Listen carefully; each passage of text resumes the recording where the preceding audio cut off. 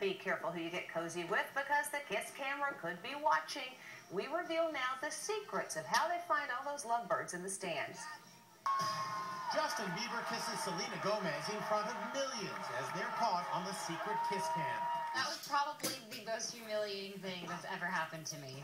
The kiss cam loves to catch celebrities making out, like when Zac Efron kissed his then girlfriend Vanessa Hudgens, and Hollywood power couple Tom Hanks and Rita Wilson. But the kiss cam's mainstay are regular couples, turning them into celebrities for 15 minutes of fame.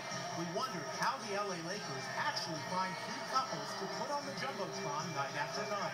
One minute, one minute. So the Lakers gave Inside Edition exclusive access behind the scenes at LA's Staples Center to learn the secrets of the Kiss Cam. Lakers Director of Game Operations, Lisa Estrada, explains what they look for. We do really look for a good camera angle first. And then obviously the, the really our camera crew looks for couples that look interesting. There are four cameras dedicated to the Kiss Cam. As the Laker girls get ready, the camera crews pan around the crowd. Camera three's down there.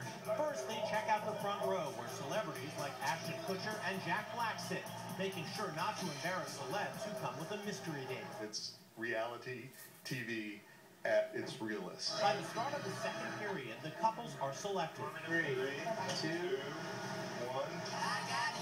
Sonny and Cher's I Got You Babe plays in the background as the couples are ready for their close-up.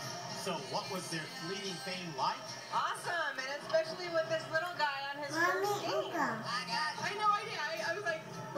When I saw it, I was like, whoa. It's another slam dunk for the Kiss Cam.